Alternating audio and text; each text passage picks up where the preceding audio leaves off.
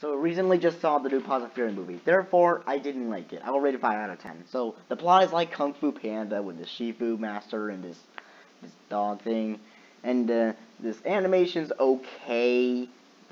But the plot has is, is completely inconsistent. And the, some of the humor's unfunny. Like all this movie's 85 minutes long and and without including the end credits. It's just every single lowbrow humor humor joke.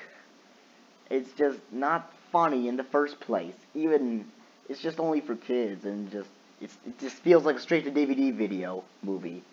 Not a theatrical movie. The best thing for you to do is just wait for it until it comes out on DVD. So, with the whole Kung Fu Panda plot thing, they can't accept it because he's a dog and they're all cats and this is just the exact like exactly like like they're treating Po like a loser because he's fat and uh, he can't be a kung fu warrior for like a Furious Five, and like Paws of Fury, I'm like, and the dog can't be a samurai like all the cast samurais.